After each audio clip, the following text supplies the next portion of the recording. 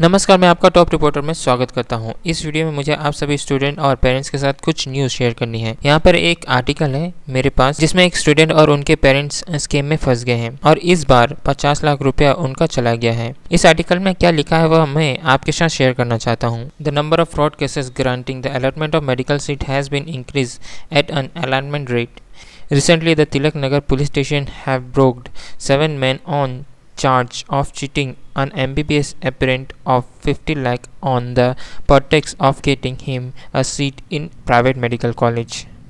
तो यहाँ पर क्या हो रहा है हर बार की कहानी यही होती है कि कोई एजेंट या फिर कोई इंस्टीट्यूट आपको फ़ोन पर कॉल करेगा, आपको मैसेज करेगा और आपको बताएगा कि अगर आपने 50 लाख रुपया 10 लाख रुपया 20 लाख रुपया दे देते हैं तो वो आपके लिए सीट रिज़र्व कर देगा एक सीट बुक कर देगा प्राइवेट मेडिकल कॉलेज में। तो यह जो न्यूज़ सुन सुनकर आप पेरेंट्स या फिर आपके बेटे या बेटी मान जाते हैं और उनकी बातों में आ जाते हैं और पैसा जो आप एजेंट या इंस्टीट्यूट को दे देते हैं। फिर क्या होता है एंडिंग में एजेंट जो है अपना फ़ोन स्विच ऑफ़ कर देता है और भाग जाता है। आपके पैसे लेकर। यहाँ पर ऐसा हुआ है कि यहाँ पर एक ग्रुप ऑफ़ एजेंट ने एक पेरेंट्स को कॉल किया और यह बताया कि अगर आप 50 लाख रुपए दे देते हैं तो आपके बेटे के लिए एक सीट हम रिज़र्व कर देंगे प्राइवेट मेडिकल कॉलेज में। तो ये सुनकर पेरेंट्स ने 50 लाख रुपया दे दिया। फिर क्या पता चला कि स्कैम था और पैसे लेकर वह चला गया है। यहाँ पर ऐसा लिखा है कि वह जो एजेंट था, वह उनको यूनिवर्सिटी में ही मिला था और कॉलेज में ही मिला था और वह एजेंट ने पेरेंट्स को बताया था कि वह कॉलेज में ही काम करता है। तो इस वीडियो के माध्यम से मुझे आप सभी स्टूडेंट और पेरेंट्स के साथ ये शेयर करना है। अगर आप कोई भी कॉलेज में जाते हैं और आपको ऐसे ही कोई एजेंट या इंस्टीट्यूट मिलता है और बताता है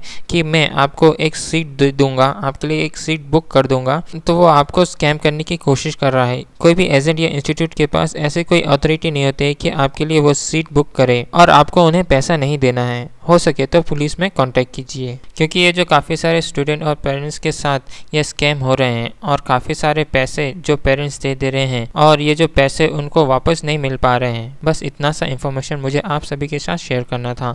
ये वीडियो हम यहीं समाप्त करते हैं। अगर आपको ये वीडियो पसंद आई हो और ऐसे वीडियो और देखना चाहते हो तो नीचे जो सब्सक्राइब का बटन है, जो लाइक का बटन है, उन्हें दबाना ना भूलिए। धन्यवाद।